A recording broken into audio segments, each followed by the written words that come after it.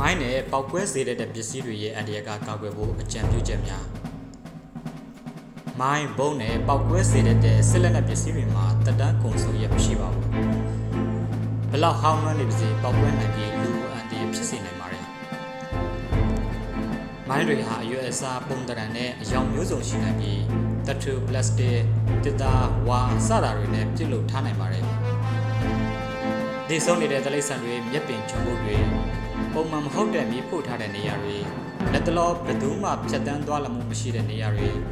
စတဲ့နေရာတွေမှာမိုင်းထောင်ထားနိုင်တာကြောင့်တတိထားတင်ပါတယ်ကလေးတငယ်တွေမြေမြုံမိုင်းနဲ့ပောက်ကွဲစေတဲ့ပစ္စည်းတွေရဲ့အန္တရာယ်ကကာကွယ်ဖို့မြန်မာနိုင်ငံကြက်ချင်နေတဲ့အတင်းအမစီယကအသိပညာပေးအကြံပြုချက်6ချက်ထုတ်ပြန်ထားပါတယ်မိမိနဲ့အကျွမ်းတူဝင်မရှိတဲ့ဒေတာကိုခီးသွားရင်လူအများအသုံးပြုတဲ့လမ်းမလမ်းကြောင်းတွေကိုအသုံးပြုပါမို င်းနဲ့ပောက်ကွဲစေတဲ့ပစ္စည်းတွေကိုဘယ်တော့မှထိတွေ့ကင်တွေ့တာမပြုလုပ်ပါနဲ့နေရာတစ်ခုကိုမီးရှို့လိုက်တာနဲ့လုံခြုံစိတ်ချရပြီလို့မဆိုနိုင်ပါမိုင်းနဲ့ပောက်ကွဲစေနိုင်တဲ့လက်နက်ပစ္စည်းအကျွမ်းကြံတွေရှိနေနိုင်ပါတယ်မြင်မြုံမိုင်းနဲ့ပောက်ကွဲစေနိုင်တဲ့လက်နက်အကျွမ်းကြံတွေကိုတစုံတရာနဲ့ပြစ်ပေါက်တာမျိုးဘယ်တော့မှမလုပ်ပါနဲ့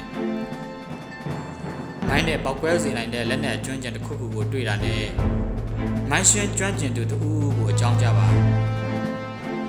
ပောက်ကွဲစေနိုင်တဲ့လက်နက်အကျွမ်းကျင်တွေရဲ့ဝေးရမှာနေပါ